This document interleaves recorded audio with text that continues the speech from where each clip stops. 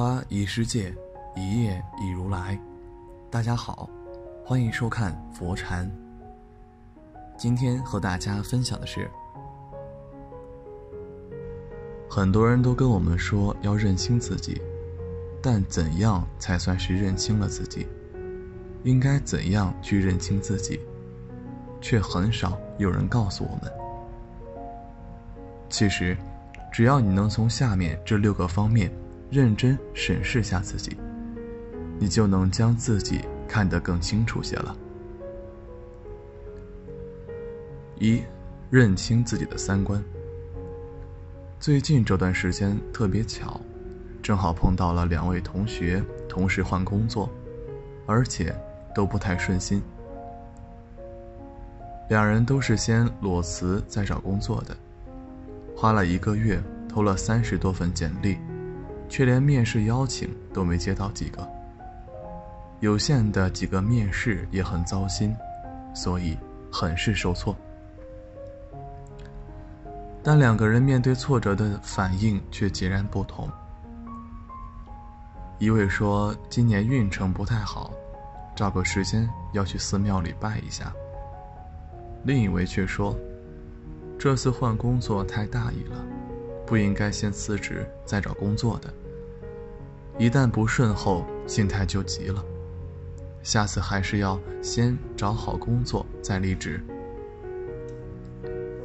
他们两人的反应就体现了不同的三观是如何影响我们的态度和行为的。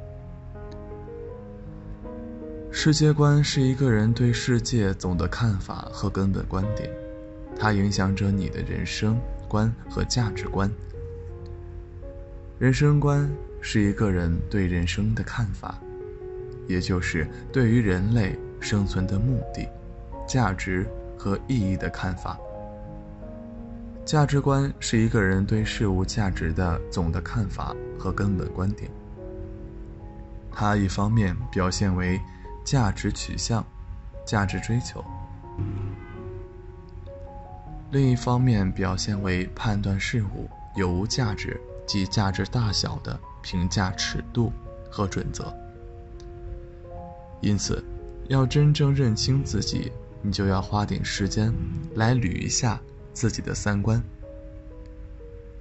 这样，你就会知道为何你会持有某种观念，为何你会认为有些人讲得好、有道理等等。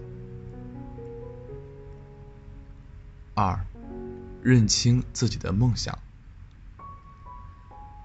人是一种容易从众的社会性动物。很多时候，我们自以为的梦想，只不过是一个跟风的目标而已。比如，在明清时期，绝大多数人读书的梦想，就是为了中科举做官。改革开放初期，在到在造导弹不如卖茶叶蛋的重商氛围下，很多人的梦想。就是做生意赚钱。这种跟风的梦想与你的三观可能是很不一样的，因此，哪怕辛苦奋斗后做了官，赚了钱，你也不会觉得幸福，有一种人生虚度的感觉。在奋斗的过程中，也会比别人更焦虑。以这些年很热的创业梦想为例，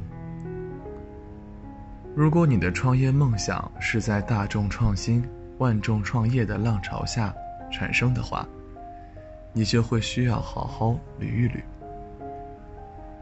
你的创业梦只是跟风，还是你三观的体现呢？如果是前者的话，你就可以好好的思考下。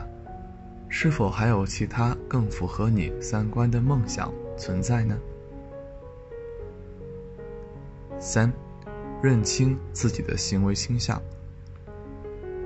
假期的时候去景点玩，人非常的多。稍微热门一点的项目，就是两排长长的人龙，排上一个小时都不一定能轮完。几乎人人都排得心焦气躁的。我记得在排队等缆车的时候，几乎要排到我们的时候，有位妈妈拉着小孩就插队到我们的前面了，边插队还边说：“我们之前就排好队了，刚刚是带小孩去洗手间了。”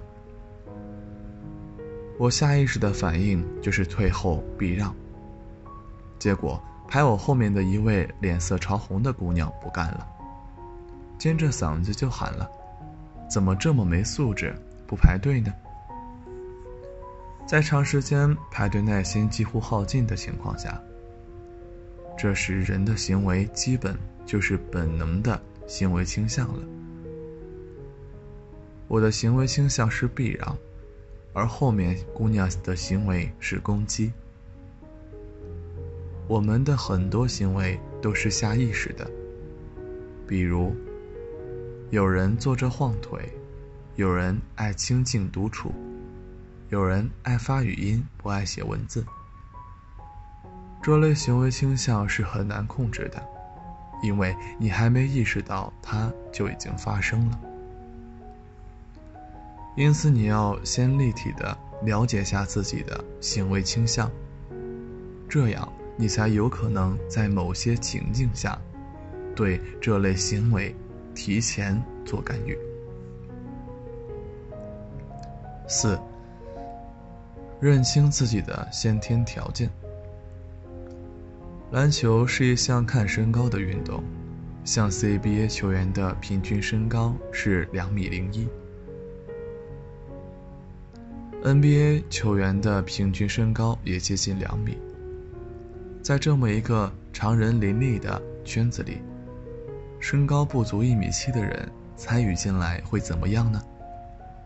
像 NBA，历史上身高不足一米七的只有九个人，还都是上世纪九十年代之前的。两千年之后一位都没有。其中。最出类拔萃的斯波特韦伯，一米六八，职业生涯场均也就九点九分，二点一篮板和五点三助攻，跟其他身高正常的 NBA 球星动辄场均二十多分相比，还是失色不少的。这就是先天条件的影响。如果你先天条件不适合某个领域，你再励志、再出类拔萃，也无法成为这个领域的顶尖人才。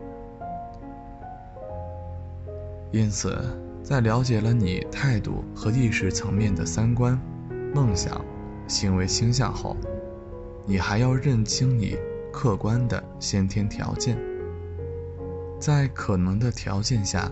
选择更适合你先天条件的领域发展。五，认清自己的能力边界。如果我请你徒手举起一个一百五十斤重的麻包，只要举起来的话，就给你一万块钱，你是不是可能会来挑战下？但如果我请你举起一个五百斤重的麻包，你还会接受这个挑战吗？我相信，哪怕我给你五百万，你也不会接受。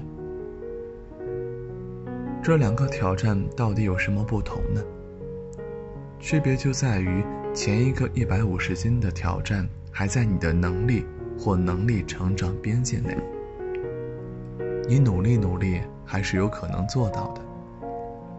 但后一个五百斤的挑战已经完全超出了你的能力成长边界了，你再努力也是不可能做到的。